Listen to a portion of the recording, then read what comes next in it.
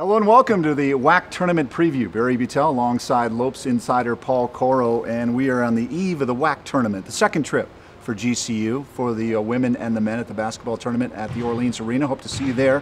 Wednesday through Saturday, hopefully through Saturday for both the men and the women. Let's begin with the women. Their season, a bit in uh, disappointment, uh, coming in uh, nine and five uh, a season ago, but this season a little bit different uh, with some new faces for Nicole Powell. Yeah, and those who have returned know the experience of winning the first round yeah. game last year and sort of the, the rhythm of the season. But they've got Deja Daniel, who just became a second team all WAC selection, and she's had some double doubles late in the season and kind of come on. And like you said, a lot of young players, a lot of key freshmen that have come on and developed. And AJ Cephas had some health things early on, and she's hit her rhythm too.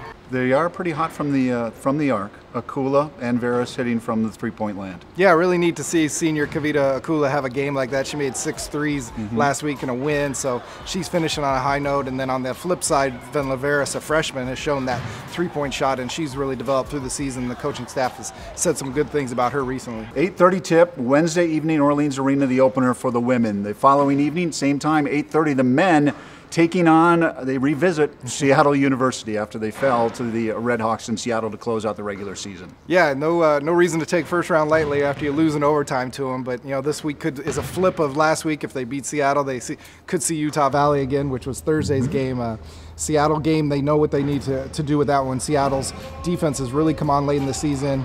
You look at their conference record and you can't really weigh that as much as overall. They had a great 12 and 3 non-conference record and then they won 5 of their last 6 games going into the postseason. But you know, you got guys like Carlos Johnson who've really come on through the season. Now he's starting and now he's become their leading scorer. Uh, Michael Finke uh, been playing great, became a first team all WAC selection because of the huge games. He's had four of his best 5 career games in the last month or so. And Carlos got honored as well as uh, Jared Martin, right? Yeah, Carlos with the second team pick and Jared Martin with a uh, almost a career achievement acknowledged. You know, he's been such a great defender. He got picked for the all defensive team. That's a lot of respect from the coaches oh, yeah. for what he's done, even though he got hurt midway through the season. Well, this tournament, obviously, anything can happen. They beat Seattle earlier in the year. Utah Valley, they came on strong as well. They're one of the top scoring teams and in, in all of college basketball right now. And it seems like Coach Pope has this team hitting on all cylinders. Yeah, Utah Valley is a really great shooting team. Jake Toolson, one of the best shooters in the country, uh, could be a Player of the Year candidate.